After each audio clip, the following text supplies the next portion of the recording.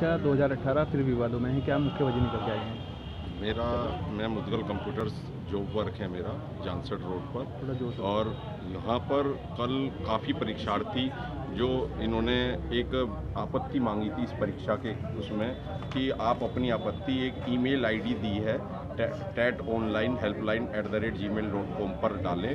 उसका समय भी आ, आंसर की देने के बाद केवल एक दिन का दिया तेईस तारीख में छः बजे तक का समय दिया। और काफ़ी परीक्षार्थियों ने इस पर अपनी आपत्ति दर्ज कराई है जिसमें इन्होंने जो इसके पेपर सोल्वर थे, जिन्होंने पेपर सेट करा है, उन्होंने ये चीज़ मांगी कि उसका साक्ष्य भी उपलब्ध कराएँ। बच्चे कल किताबें लेके परेशान रहे, हर कैफ़े पर कंप्यूटर पर भागते रहे और एक एक डेढ़ सौ में से प्राइमरी में करीबन सत्रह सत्रह अट्ठारह अट्ठारह क्वेश्चन में लोगों ने आपत्ति दर्ज कराई है, जो एक परीक्षार्थियों के लिए रियल में एक उनके भविष्य के साथ खिलवाड़ है।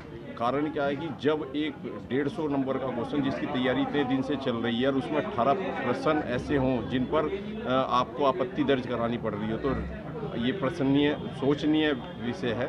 इसके लिए सरकार को सोचना चाहिए और इस चीज़ को दूर करें। और लोगों को उम्मीद है कि आठ दस क्वेश्चन तो ऐसे हैं कि जो सबको मार्क्स मिलेंगे।